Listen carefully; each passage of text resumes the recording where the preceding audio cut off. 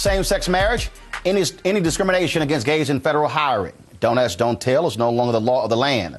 All of these issues are at the forefront today as the LGBT community lays out an aggressive equality agenda.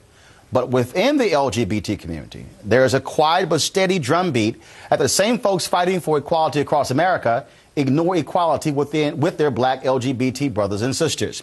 Here to discuss the inequality within the LGBT movement is Dr. Darlene Nipper, Deputy Executive Director of the National Gay and Lesbian Task Force, Cleo Manago, CEO and founder of Black Men's Xchange, and Earl Fowlkes, President and CEO of the Center for Black e- Equity. Folks, welcome to the show. Thank you. Thank you. Uh, this is a discussion that over the years I've talked with a number of brothers and sisters who are gay who said, Roland, these things are happening and folks are afraid to talk about it publicly because just like black women during the civil rights movement, they say things are happening, there's progress. We don't want to slow that down by having the conversation. Do you have that same uh, belief that it has been uh, talked about, but nobody really wanted to talk about it publicly and put it out, out there to, to sort of stop the, stop the progress, if you will? It's my perspective that, that the gay community, excuse me, or the white gay community, as I call it, because I think the whole thing is pretty predominantly gay, a lot of black people do not want to be publicly associated with that community. Why? So they don't claim they don't complain about the racism in it because that means there will be a,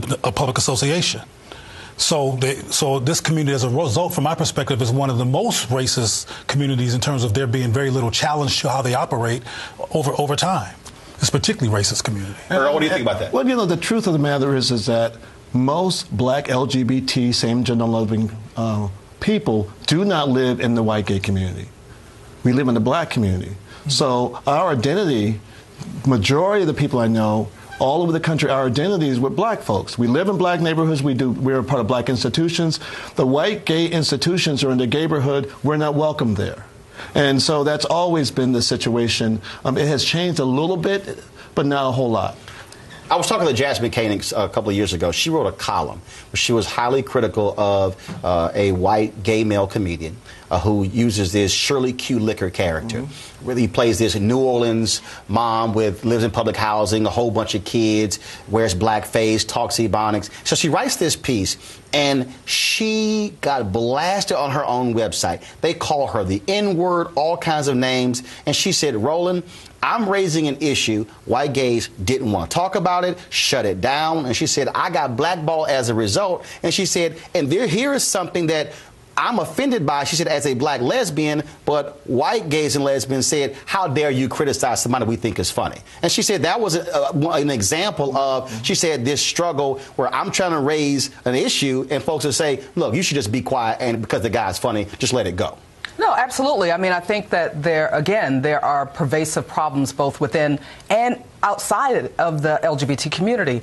And, uh, you know, I, I love Cleo and you know we've known each other for a long time. Yeah, he's not. He hasn't been uh, shy about challenging but, the infrastructure. But but but I think that is our exact role. That is our role to challenge the infrastructure. But but but what I say is that we all need to do this, and we all need to do it from the places and from the angles in which we actually can operate, operate effectively. So I think that uh, many times I've been um, inside of the very predominantly white um, mental health community. You know, my role in that community is both to do the work that I'm doing in the community to affect all of the people that I'm working for, and in particular, obviously, to affect, African American people because that's a community of which I feel that I am a part. I mean, as uh, Sharon Lettman likes to say, I'm black too. The National Black Justice Coalition works to, to ensure that black uh, uh, LGBT people also get to sort of uh, raise their issues within the context of the movement. And I think our work is to be at those intersections because the reality is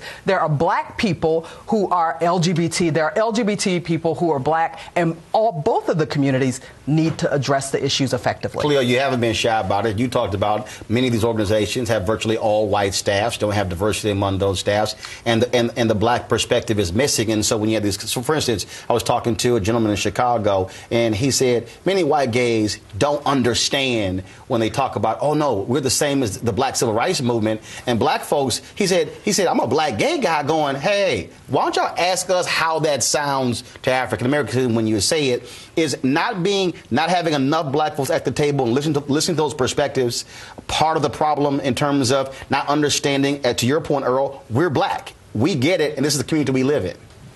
Well, I have a different perspective. I mean, I think that what you're raising is important in terms of being at the table, but I'm not interested in spending a lot of time at that table because, I mean, I think that the kind of resources that come to that table should be trickled down into black communities. But our community has to learn how to love itself and embrace itself as black people who are same gender loving.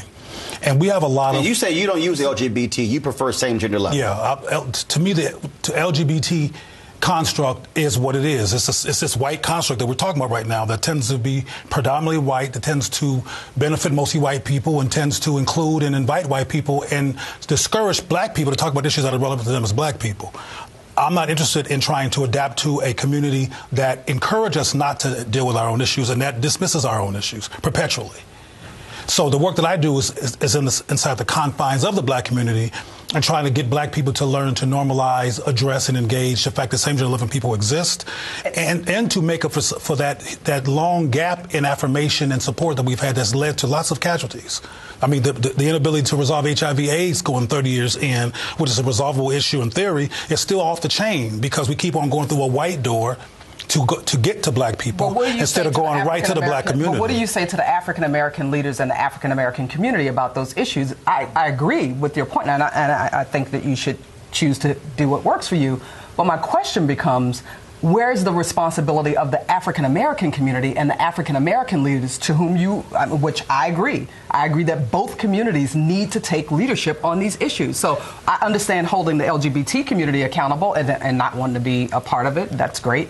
My question is, how do we hold everyone to the to to task? Well, because fir- all of us. Well, your need to be first question to- was how do we hold the African American leaders accountable? That was your first question. Yeah. And I think you should know that my work, ha- because it's been contextualized in a black community context, has attracted the likes of, of Louis Farrakhan, who invited me to speak in 2005 at the Million Man March commemoration. Um, it, has, it has involved people like Al Sharpton. It has involved people like Molefi Asante. It's been because the work is culturally resonant with black people. All kinds of black people have come to be engaged in the conversation. The white gay context has not attracted to our community because of its racism and its white perpetual white face. We Well, don't feel not. we don't feel any resonance with it. And, and I think the is a- leadership or the community. This is another. This is another problem where we, and, and I do it too. You know, where we make these communities as though they're monolithic communities. In fact. Obviously, there's a lot of diversity within the African American community, and there's an extraordinary amount of diversity within the LGBT But you know community, what- but know- regardless of the reality But you know what, of what the this, issues are. this is uh, how I view it. You know, Rosa Parks, she st- she decided to sit down in the front of the bus because she was didn't want to stand in the back of the bus. So the roadmap has been set for me. I'm not going to stand in the back of the LGBT bus. I think that's great. And um, but however, I'm not going to stand in the back of the, the black bus because I'm a gay man. that uh, that's And so there's a point. balance. You know, we have to deal with homophobia within the black community and, and sexism uh, within the black community, but we still have to deal with racism in the in the in the, in the white community. Um, and the fact is, oftentimes the the white LGBT community wants us to carry the water on homophobia in the black community without addressing the racism in, in the white gay community. Here's what's something interesting I saw happen with Trayvon Martin, and that is um, I, I see many LGBT groups, you call them essentially white organizations, virtually silent on Trayvon Martin. Call themselves civil rights organizations. Silent. No press releases, no statements. It took them a minute. Yet, there are demands on black organizations. When are you going to speak out on the issues? And I remember the New York Times did a story when there was a gathering in New York about the uh, stop and frisk.